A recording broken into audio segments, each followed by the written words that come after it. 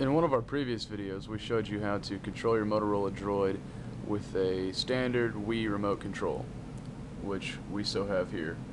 And in that video, we showed you how to play original Sega Genesis games such as Sonic the Hedgehog.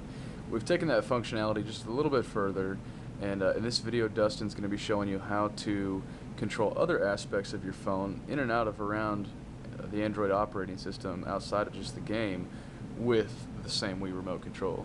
So if we look here at the phone, we're already on the home screen, and uh, Dustin's going to take it here and, and show you a few things.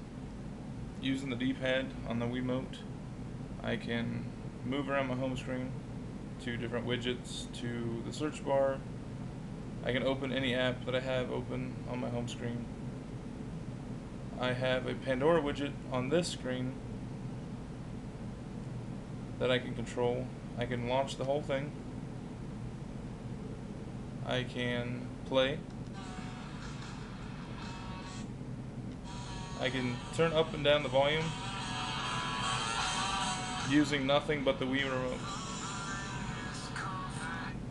I can go back to the home screen. I can even launch my home app drawer and launch any app I have inside that app drawer.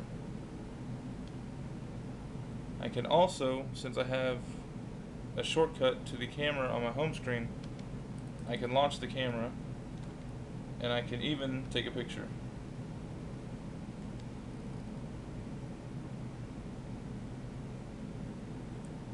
All wirelessly from my Wiimote that we have hooked up to the Android. If you would like to learn how to do this on your own Android, check out the forums at ictdroids.com.